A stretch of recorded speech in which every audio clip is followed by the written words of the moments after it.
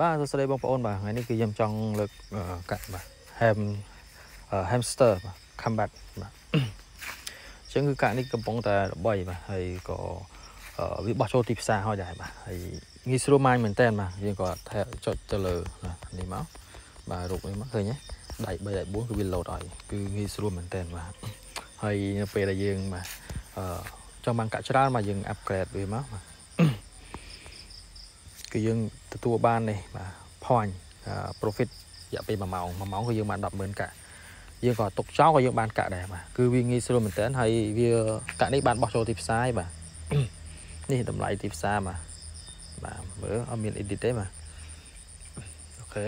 គាត់តម្លៃវាធូរថ្លៃមែនតើបាទអញ្ចឹងបើយើងទៅមកលៀនកាក់វាបានថា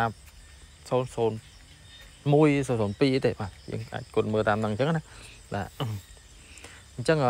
បងប្អូនអាចធ្វើបានបាទដោយសារតែវាគឺជាការ mining free បាទ free អូខេហើយគឺមានការបាទរកកាក់រកអីច្រើនបាទយើងការយើងធ្វើ mission បាទហើយនឹង